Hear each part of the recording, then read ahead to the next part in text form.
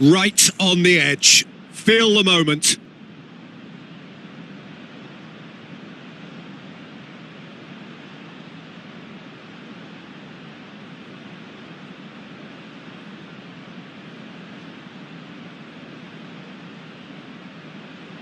So, the first penalty.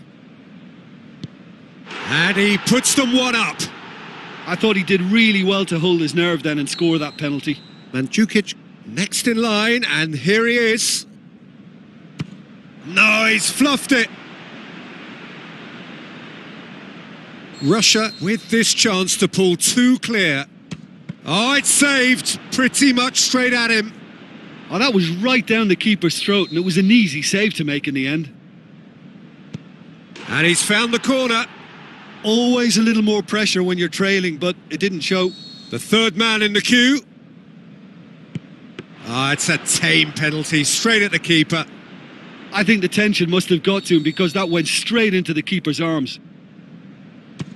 It's in, and the keeper could have done better. Oh, that was a great strike. He just gave the keeper absolutely no chance. Keeper's read that beautifully.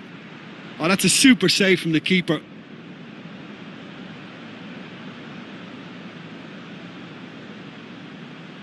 So this to seal it. He's buried it, and he's won it. Well, somehow they turned it round. Every ounce of energy, emotional, physical, mental, is spent. That is some win. Well, there's really nothing quite...